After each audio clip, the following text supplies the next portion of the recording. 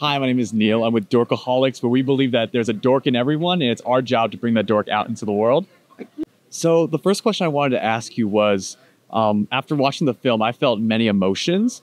What did you intend for audiences to feel after watching Monster? 私はいつもそうですが、えーたった一人に向けて描いています、えーもちろん多くの観客が見ていただくかと思いますが私自身が届けたかったのは一人一人の、えー孤独を感じている人々です、えーそんな人々に届くといいなと思っています I always write thinking of one person who might be lonely uh, in mind.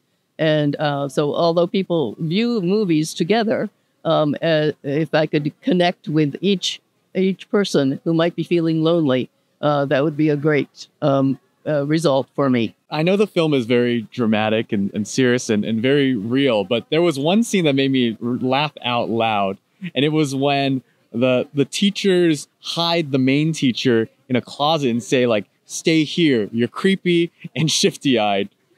Um, was that written into the script, and where did such an outrageous line come from? えースクリプトに書きました脚本にある、えーシーンですねあの人はやっぱり真剣な時ほど面白く面白く喜劇的になる面があるかと思います Uh, that was written in the script.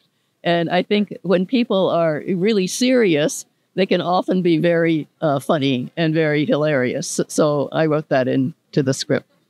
to bring it back to a more serious note, I, I wanted to ask you mentioned when you are writing a script for a movie, you want to focus in on on making finding that person that might feel lonely and making them feel less lonely, feel represented. Um, the film takes upon three different perspectives. Did you intend to help connect those two experiences of parents, teachers, and children? そうですね、えーはい、えー人が、まあ、感覚が、えー自分には見えなかったものがだんだんと見えてきて、えーまあ、この「怪物」というタイトルもそうですが初め感覚は、えー怪物は誰なのかそれそれを探そうとします。しかし、えー映画を見ていくうちに、えー怪物ってのはこ何かを判断し決めつけている自分自身なのではないか映画を見ている自分なのではないかそんな風な えー経験をしていただきたいなと思いました。 Um, I think um, uh, as people uh, watch the film, uh, they're trying to figure out who the monster is.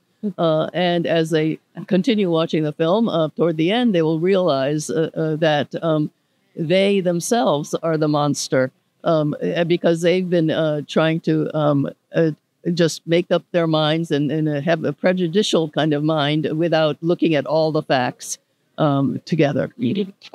Thank you so much. Mr. Mayor. Nice to meet you too. Thank you.